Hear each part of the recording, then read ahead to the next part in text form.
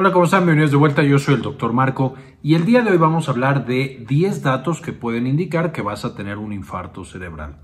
Por supuesto, el infarto cerebral es una patología altamente severa que hemos platicado con mucho más detalle en videos pasados y les baja en la parte de arriba el enlace a ese video en el que hablamos con detalle de esta patología. El infarto cerebral, como mencionamos en ese otro video, es la enfermedad en la cual se tapa un vaso que llega al cerebro, entonces ya no le lleva eh, la sangre oxigenada y esa parte del cerebro, por supuesto, muere por falta de oxígeno y de otros nutrientes.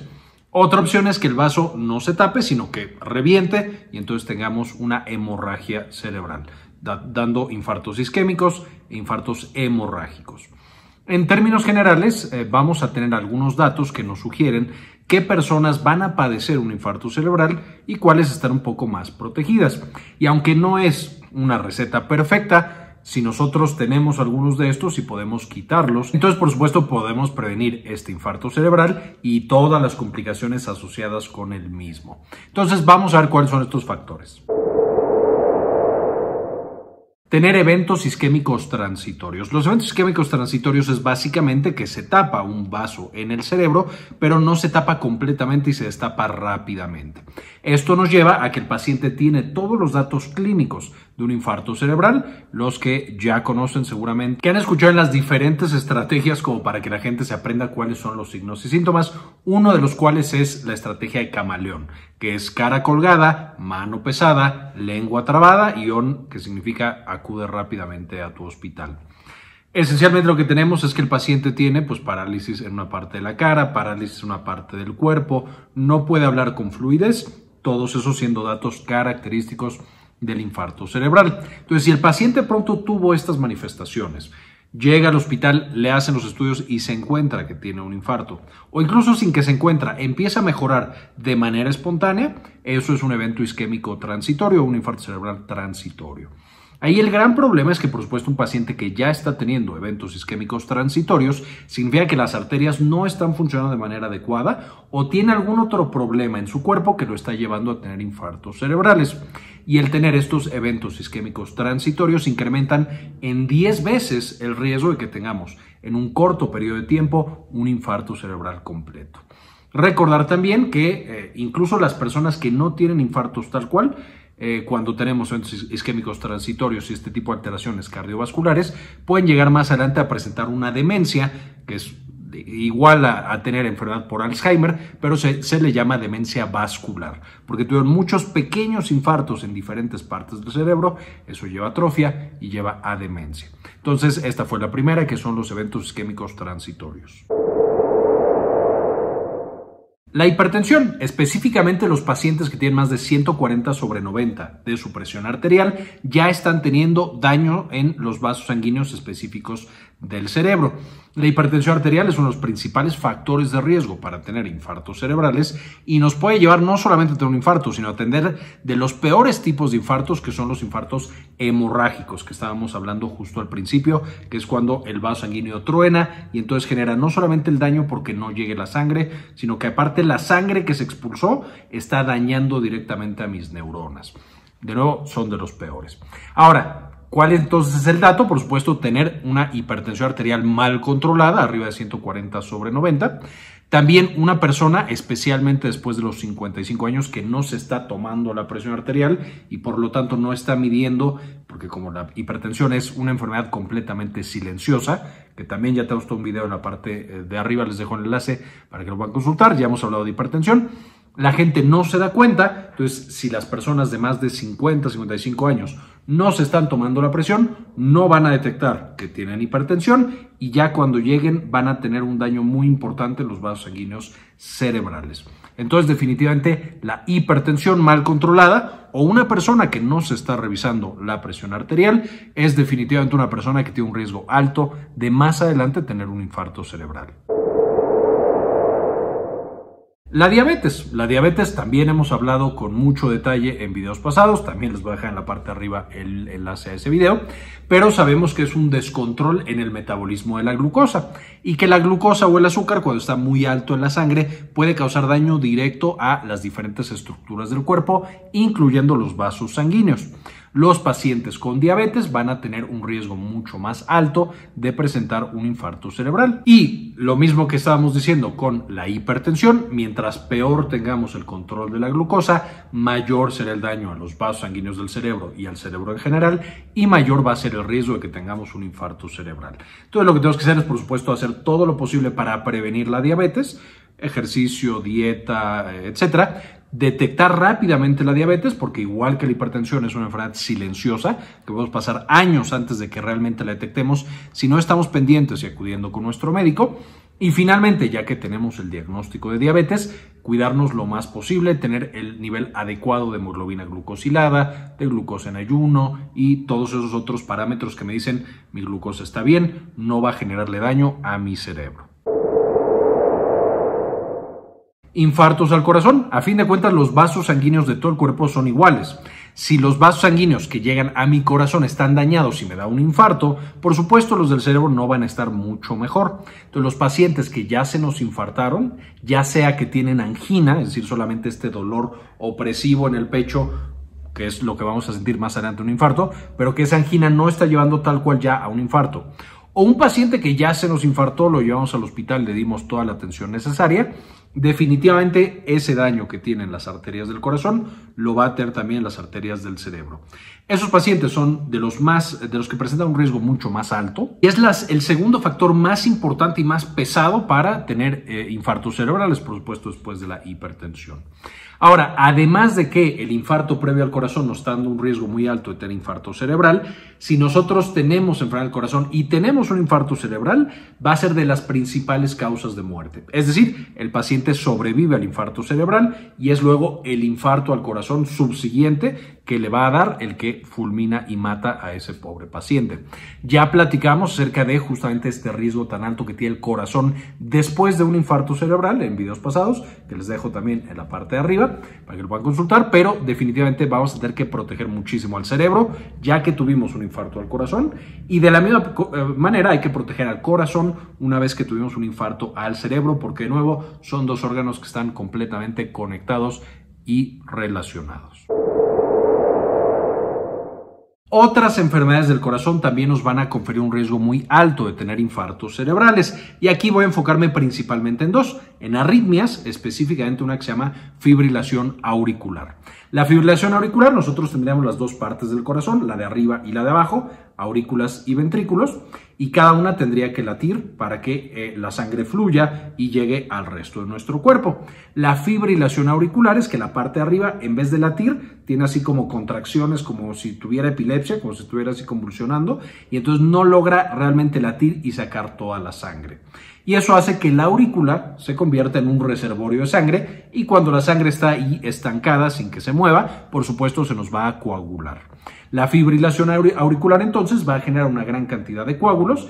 Cuando por fin el coágulo pasa a la parte de abajo, que sí se está contrayendo bien, por supuesto este corazón va a lanzar esos coágulos a todo el cuerpo entre ellos al cerebro. Entonces vamos a tener como pequeños misiles que está mandando nuestro corazón al resto de nuestros tejidos y vamos a tener infartos varios. Por supuesto, los del cerebro son de los más severos, sin embargo, podemos tener un infarto en cualquier otra parte del cuerpo con la fibrilación auricular.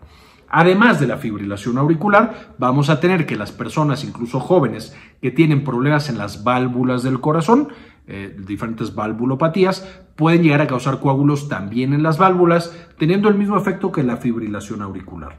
Esta formación de coágulos va a todos lados del cuerpo, llega al cerebro y entonces tenemos infartos cerebrales. Tanto la fibrilación auricular como los eh, valvulopatías, las enfermedades de las válvulas del corazón, van a ser causas frecuentes de infartos cerebrales en personas más jóvenes.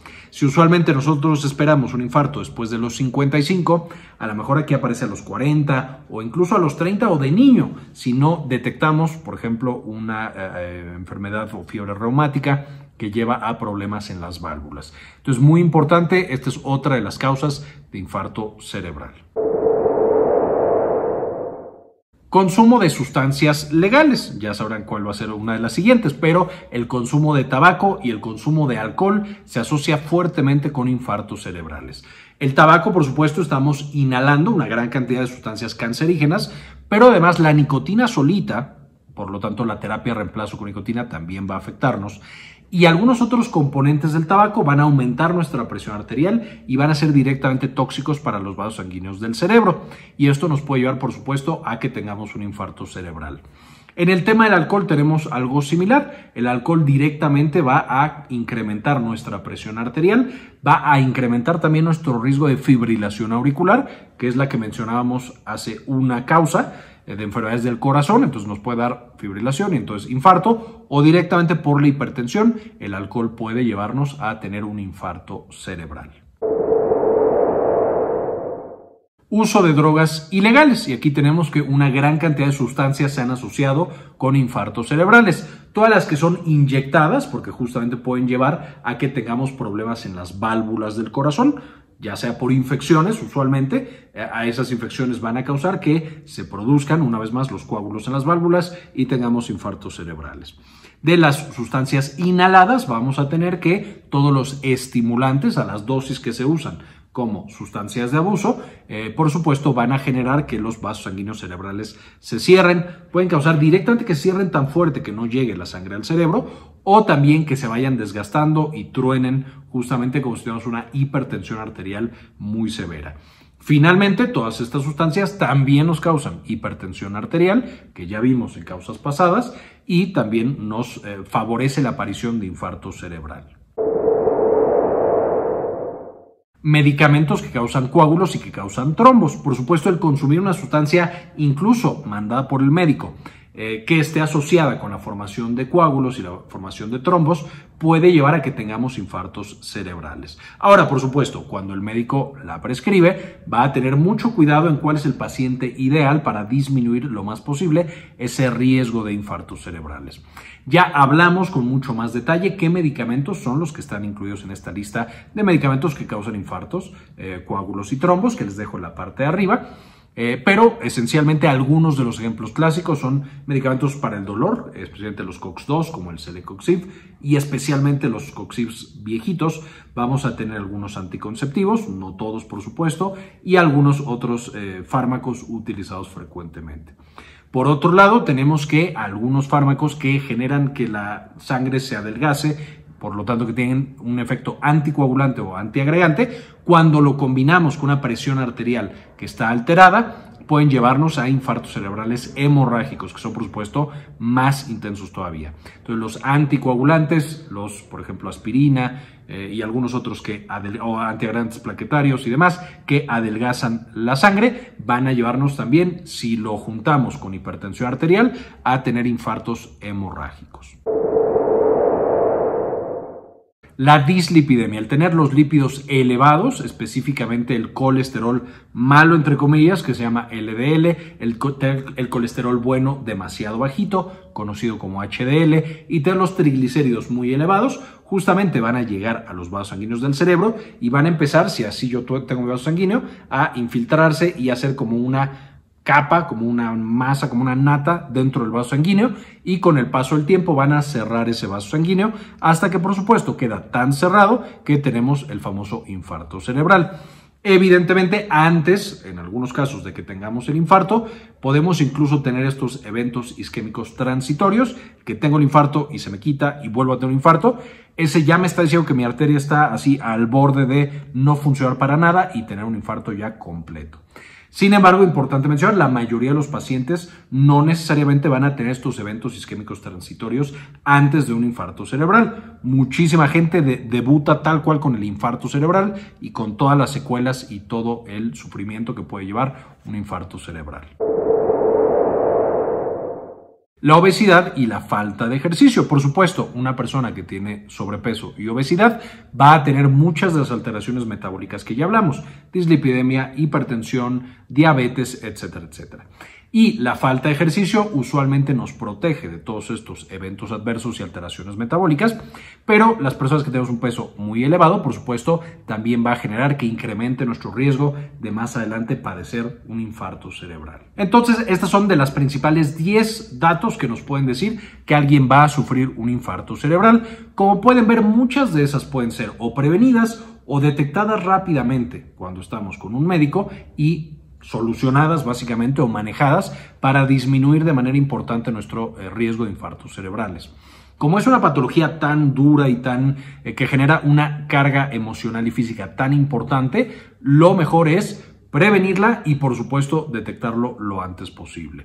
Espero que esta lista justamente les ayude a tener pláticas con sus médicos y para tener pláticas con sus pacientes para que las detectemos de manera oportuna y de nuevo evitemos esta patología. Muchas gracias por el video hasta este punto. No quisiera irme sin antes agradecer a algunas de las personas que han decidido hacer una donación de uno o de dos dólares a este canal para que podamos seguir haciendo este tipo de contenido y compartiéndolo de manera gratuita con el resto de las personas. Este video en particular se lo quiero dedicar a Malena Carrascosa, Farmacias Asociadas de Ecuador, Yvonne Gron, Kiara Goyosa, Moni Lagos Leigh, Yami Pascasio, Luis Ernesto Peraza, Vaquita Gamer, Carlos Ramírez Quintero, Cookies Juárez, Georgina Juan Rodríguez, Aurora Martínez, Jason Silva, Cindy Magaña Bobadilla, Alejandro Pardo, Bajo la Lupa, Héctor L.P. Sáenz, Doctora Milis, Sandy Oliva, Jorge C. Enrique Segarra y Doctora Susana Vidal. Muchísimas gracias por todo el apoyo, realmente nos permiten hacer este tipo de contenido. Con esto ahora sí terminamos y como siempre, ayúdenos a cambiar el mundo, compartan la información. Quería comentarles también que ya tenemos activada nuestra clínica en línea, Clínica Cares. Eh, nos pueden encontrar en clinicacares.com.mx para agendar alguna consulta. Principalmente atendemos los temas de salud de la mujer y también, por supuesto, consulta general. Si tienen alguna duda, alguna consulta, aquí en clinicacares.com.mx nos pueden encontrar.